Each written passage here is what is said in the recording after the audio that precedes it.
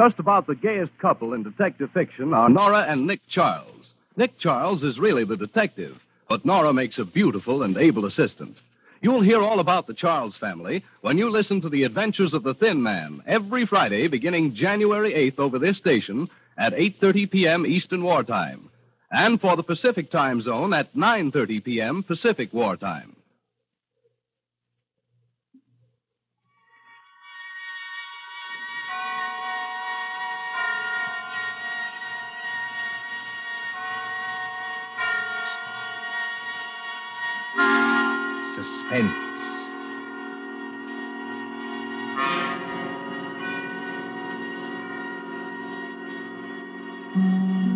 Tonight, Columbia brings you as guest stars two deaf players from the movie lots of Hollywood, and the stages of Broadway. Miss Elissa Landi and Mr. George Coulouris. They are here to spend with us a half hour of suspense. Suspense is compounded of mystery and suspicion and dangerous adventure. In this series are stories calculated to intrigue you, to stir your nerves, to offer you a precarious situation and then withhold the solution until a last possible moment. Tonight, for instance, Miss Landi plays for us an agreeable young lady who is on the trail of some hot money. And Mr. Coulouris plays for us a disagreeable young man who may or may not know more about the money than he says. We trust that with this tale we shall keep you in suspense. For Suspense tonight, CBS presents Elissa Landi and George Coulouris in Nothing Up My Sleeve by John Dickson Carr.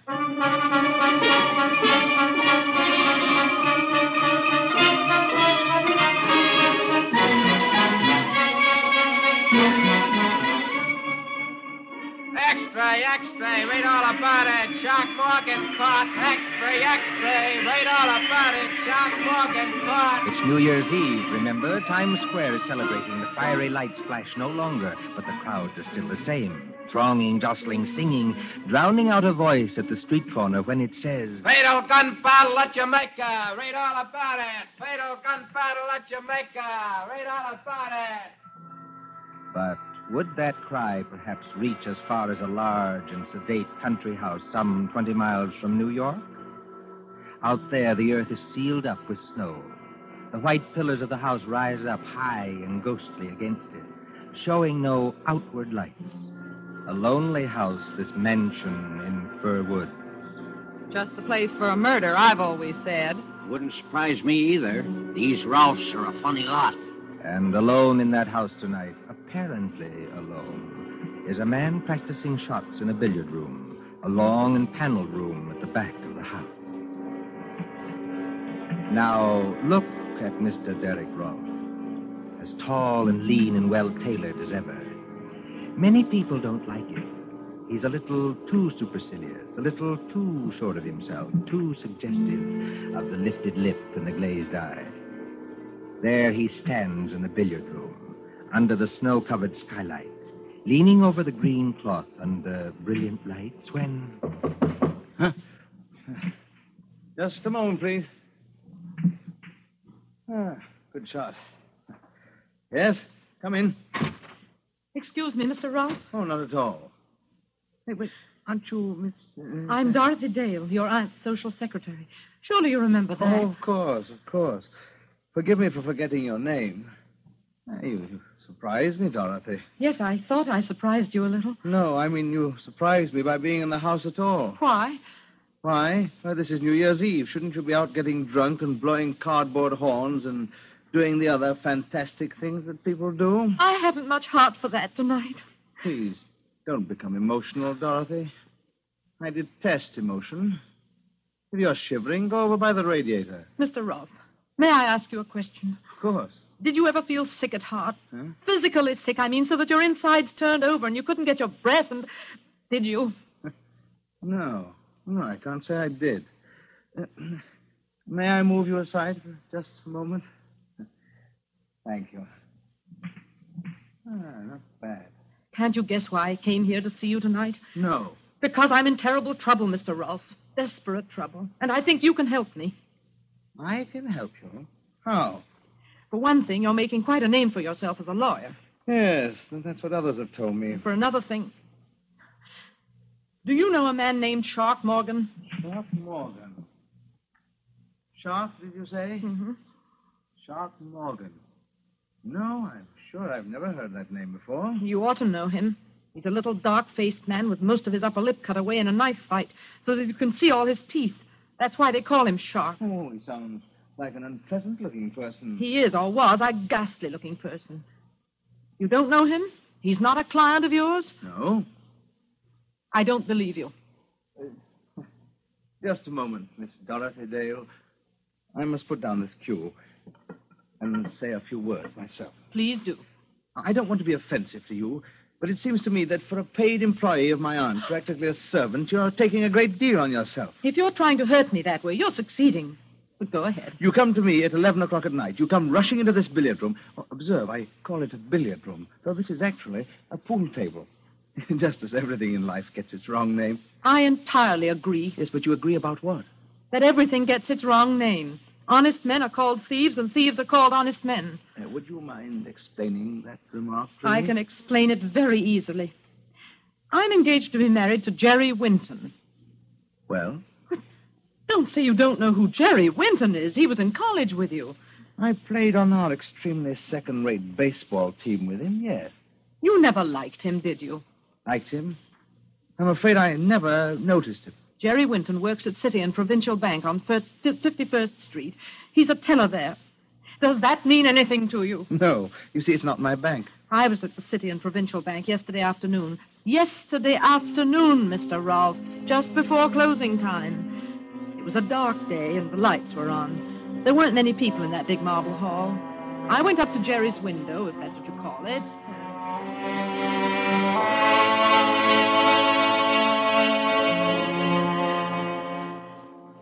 Can you cash a check for a million dollars? Hello, Dolly. Hello, Jerry. You glad to see me? I am not pleased to see you here, Dolly. I'm never pleased to see you here And why not? Because I can't make love to you. Can you imagine anybody making love in a bank? Oh, we might sneak into the president's office. As a matter of fact, I've dreamed of holding a party in there. But it'll never happen unless I'm fired, which is very likely. Jerry, sometimes I wish you weren't so easygoing. I'm not easygoing with the bank's money, Dolly. Otherwise, I'd be shoving it out to you through the window in double handfuls like this. Jerry, for heaven's sake, no. Then state your business, madam. The convict in the next cage is watching us already. I want to cash a check. Here it is. Twenty dollars. That is, if my account can stand it. yes, I think we can manage that. How'll you have it? oh, it doesn't matter anyway. Jerry, What's wrong? look over there. Where? Over there by that marble table with the pens and ink on it. The little man with no upper lip to his mouth and all his teeth showing. Ugly looking devil, I admit. He's carrying something like a violin case. Hold on. I've seen that fellow someplace before. Of course you have. Don't you remember where? It was. It was out at Mr. Rolfe's house in the country when you came to visit me last Sunday. The man with the teeth and five other men were coming out on the porch as we were going in. Wait a minute, Dolly. That's not all. What is it? There's some very funny looking customers in this bank right now. Where? At Mr. Wallace's window. At Mr. Robinson's window. And up by the guard at the front door. They, they, they don't seem to make any sound. As though they all wore rubber soled shoes. Jerry, something's going to happen. I know it is. Unless I can get off this stool and warn. That was just to call your attention, folks. Just to call your attention. Now, just stand where you are, all of you. And nobody will get hurt. Darling, I, I'm scared. Well, what shall Come I do? you stay Steady, dear. Just stand still. I right don't there. dare turn around. Was that Now, the man with the teeth? Yes, he's got, coming. he's got the machine gun. We don't want any funny business about alarm bells, see? One of the boys has already gone behind to take up the collection. Now, just stay where you are. That's all you gotta do. You can't get away with this. Oh, look, boys, here's a guy at the front with a nice mahogany desk and a plate with his name on it who says we can't get away with it. That's Sean. Huh? Don't do it, Sean. That wasn't in our orders. So we can't get away with it. Oh, he's crazy. I hear somebody else talking. Jerry! Thought I heard somebody over there. Oh, it's you, kid. Move to one side of the window, Dolly. Move to one side of the window. Don't worry, kid. I ain't gonna hurt you. No? Not a bit of it. Thanks for helping us. You'll get your cut later. What do you mean, my cut? It's what I said. You'll get your share when we divvy up. Well, I don't know anything about this All robbery. right, kid, we'll take care of you. I tell you, I don't know anything about this robbery. Jerry!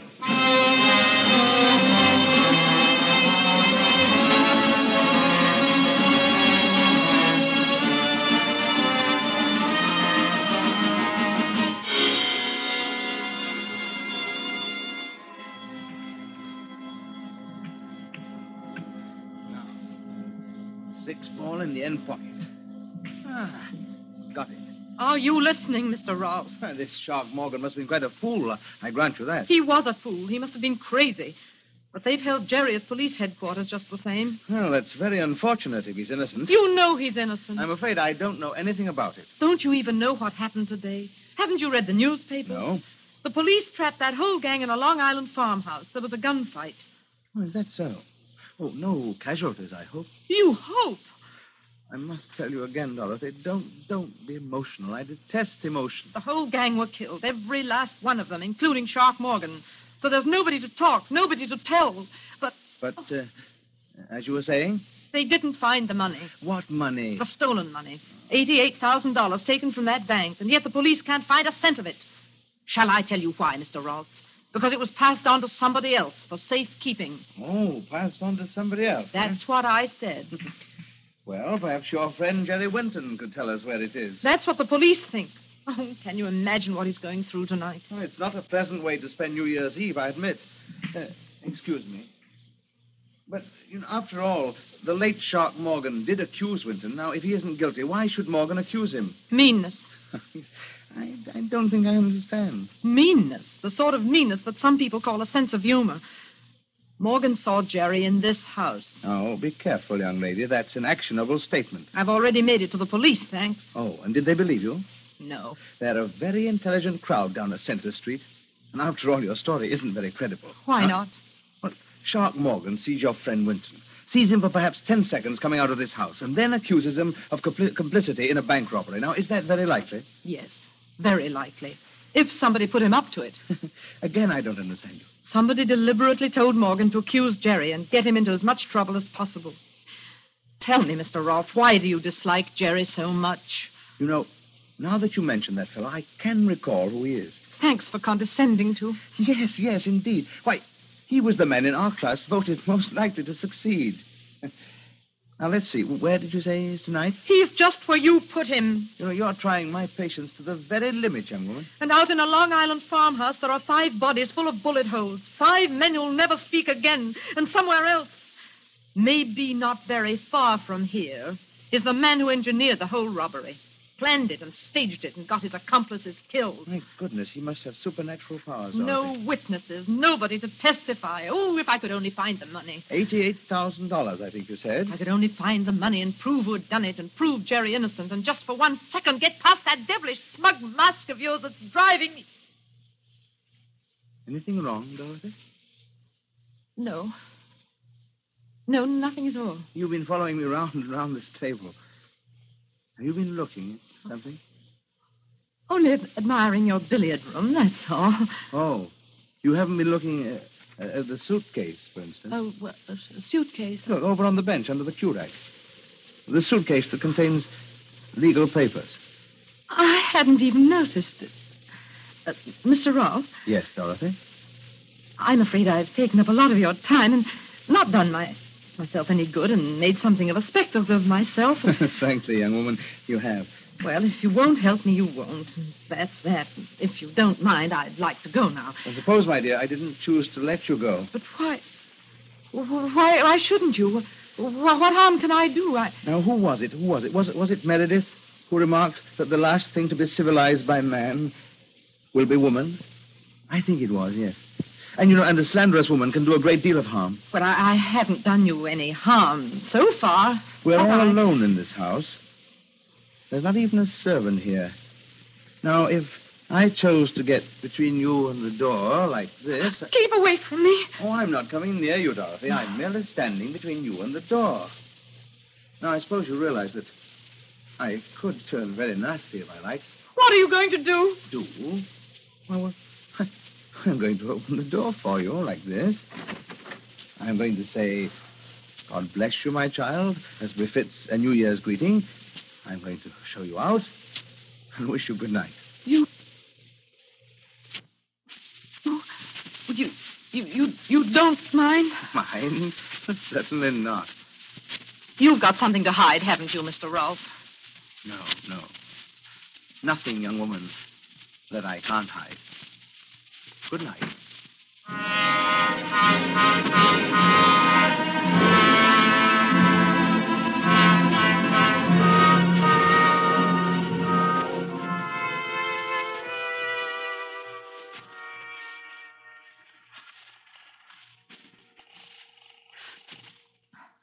Operator. What number are you calling, please? Operator, I, I want to get to police headquarters in New York City. No, no, no, no. That, that, that'll take too long. Wait, wait, wait. Uh, uh, get me the local police station.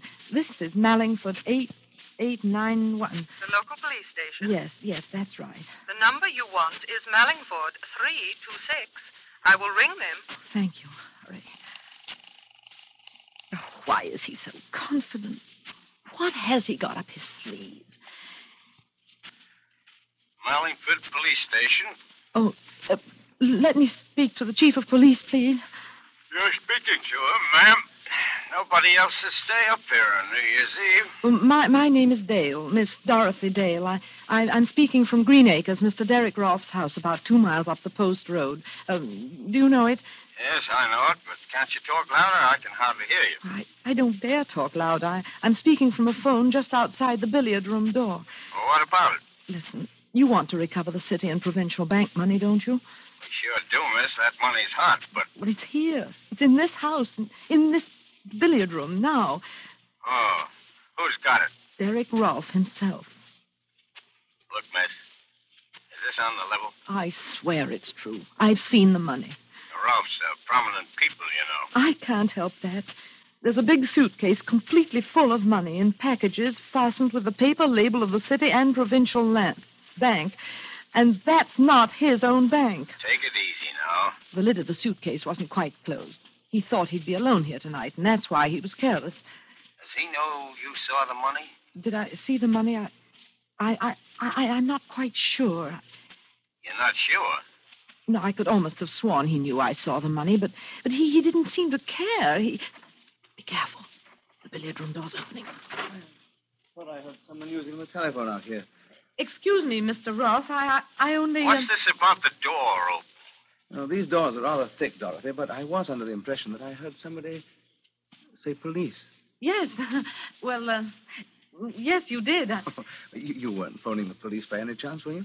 yes, I I was. Why? I uh, Go Well- on, go on, go on. Why? I, as a matter of fact, I was trying to get in touch with Jerry. That's it. He, he's at police headquarters in New York, and I, I was trying to get in touch with him to see if they'd let me talk to him on New Year's Eve. You know, I, I, I thought it would cheer him up. Look, miss, this is the Mallingford chief of police. Are you still there? What's that? What's Mel- Mellingford? Well, it's a New York call relayed through the local station. You, you, you don't mind? Not at all. Please go right ahead. Oh, by the way, What?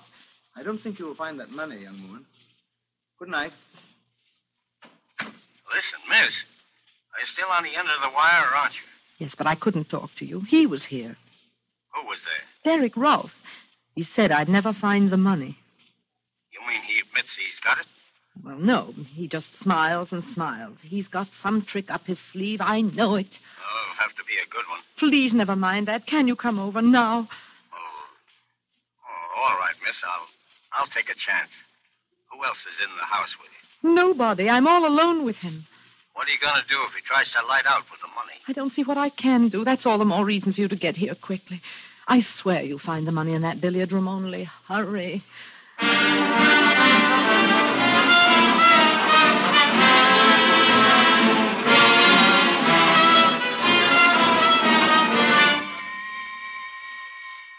Five minutes. Ten minutes.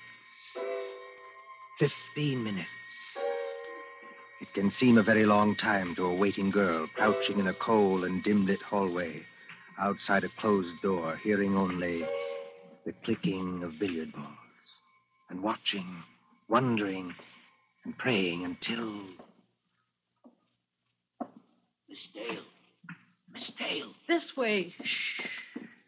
Miss Dale. I'm Joe Hollister, chief of police. Yes, I recognized your voice. The front door wasn't locked, so I just walked in. I hoped you would. I didn't want to leave here. Has Mr. Rolfe come out of that room since you talked to me? No. And according to what you claim, he's still in there with a suitcase full of money. That's right, Mr. Hollister. Now, look, miss, before we go any further, there's something I ought to tell you. Well? Well, I I checked with New York about you. Uh, and, and what did they say? Yes, Miss Hollister. And what did they say about her? Mr. I'm rather interested in knowing that myself. So you could hear everything through that door? Of course I could hear everything through the door, including your conversation with our friend, the chief of police. Good evening, Mr. Hollister. Good Evening, Mr. Ralph. This young lady says that, I uh, know, I know what she says. Will you come into the billiard room, please? Both of you? Oh. Thank you. Just what trick are you up to now? Trick? You talk of tricks. Now, just a minute now. Take it easy. What I want to know is where's this suitcase Miss Dale was talking about? There it is. What, do you mean that empty suitcase on the bench beside you? Empty suitcase? Yes, that's what I said. It wasn't empty when I left this room. Chief, do you mind seeing for yourself? Well, it isn't empty. It's empty now, miss. Hollister, it would gratify me to clear this matter up here and now. It'll gratify me, too. I'm tired of this slanderous nonsense, and I mean to end it. This young woman told you that I had, what was it? Some $88,000 in this room only a few minutes ago. I still say you had. Curb your temper, please, while I ask you some straight questions. Can you do that? You better answer him, miss. All right, I'll try. Did I or did I not leave the billiard room at any time? No, you didn't. Good. Well, there's only one door and no window, only a skylight covered with snow. So I didn't leave that way, did I? No, I suppose you didn't. Therefore, unless you're lying, the money must still be in this room. Yes. Then where is it? I don't know. You must have hidden it someplace. Where? I'm afraid Mr. Ralph's right, miss. Take a look around you. One pool table. Comes apart so you can examine it. One radio. Go on, examine that too. One overhead light, one standing lamp, one bare bench, one rack of cues, one rack of pool balls. Now that's everything. Now, can you tell me where I could hide enough money to fill a suitcase? No, I can't. It's impossible, miss. The stuff's not here. It must be here. It's either here or else. Or else what? Or else it vanished. Oh, Mr. Hollister, haven't we had quite enough of this? Yes, I guess we have. Now, look here, Miss Dale. I like the way you talked, and I thought you were talking straight. Will you just tell me why you tried to string me along like that? You know, I think I can tell you, Chief Hollister. I wasn't exactly asking you, Mr. Ralph, but. Well, go ahead. You know, perhaps, that she's engaged to a man who's mixed up in the city and provincial robbery. He was not. It was neither a very clever nor a very far-sighted attempt. I'm inclined to think that uh, she'll not have a job when my aunt returns. But as I say, it was a case of any old attempt to shield Jerry Winton. Did somebody mention my name? Jerry. Oh, Jerry. Kid, steady. I'm alive. I'm not a ghost. You needn't dive at me like But that. how did you get here? How did you get away? I was trying to tell you, miss, when our host butted in. The DA is convinced your young man had nothing to do with this. That's right, Dolly. And I thought I'd better come out and take you back to New York with me. I was, was never so glad to see anybody in my life. Put your arms around oh, me. I don't suppose you'd mind if I picked up this cue and went on practicing. Let's try the eight ball all the way down the table. Ah, come on, Dolly. It'll be New Year's in a few minutes. There's nothing to worry about. There is something to worry about. He's got the money, the whole 88,000. I know it. I'm sure of it. Only we can't find it. It's hidden somewhere in this room. As I said before, haven't we had just about enough of this? The this? chief of police there won't believe me, but it's true. I've heard a lot about that money myself.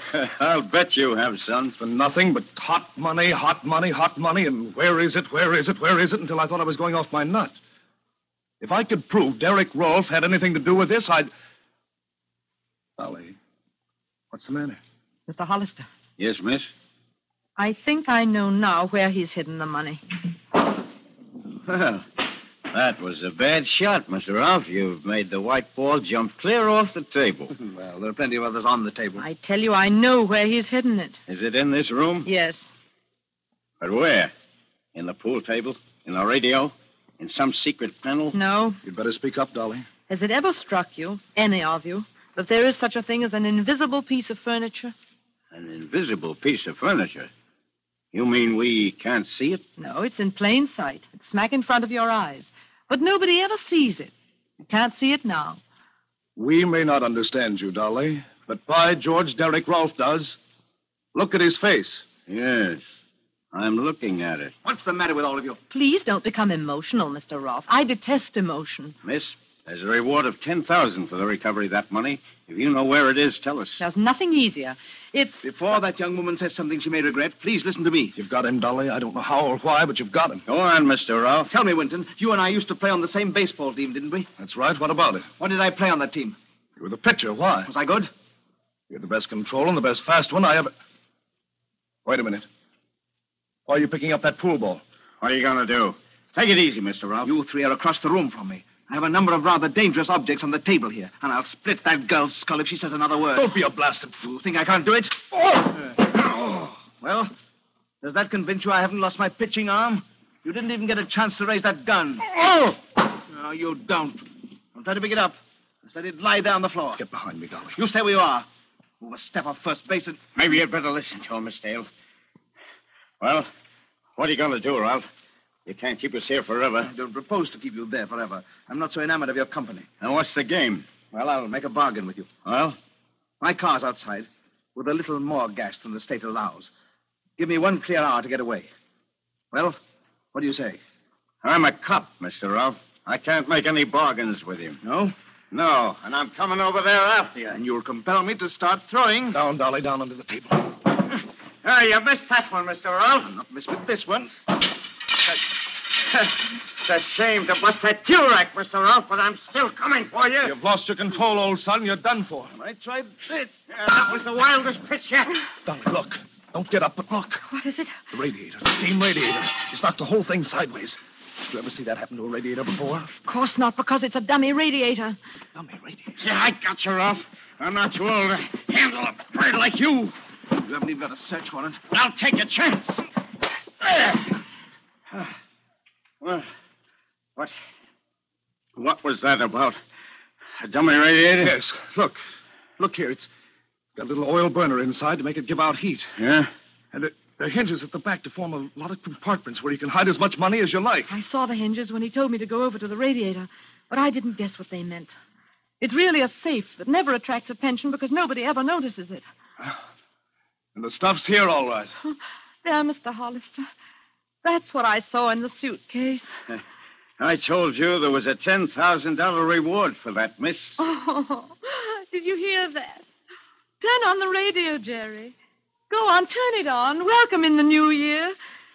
Didn't you tell me, all of you, that, that the money was hot?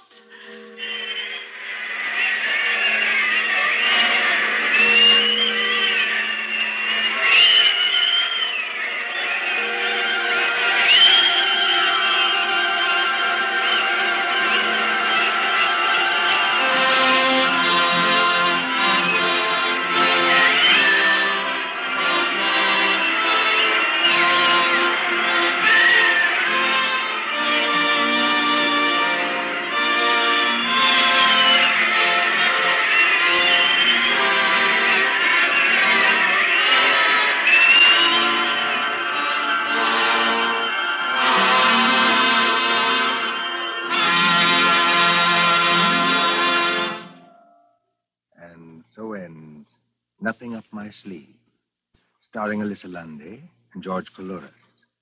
Tonight's story of suspense. Columbia presents these tales of mystery and intrigue and dangerous adventure for your relaxation and enjoyment. Next Tuesday, there'll be another in this series. Same hour. 9.30 Eastern Wartime.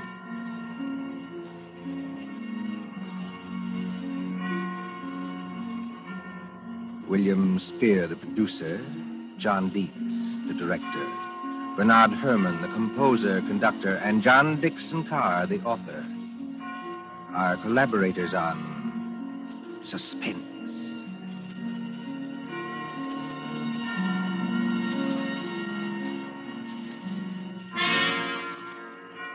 This is the Columbia Broadcasting System.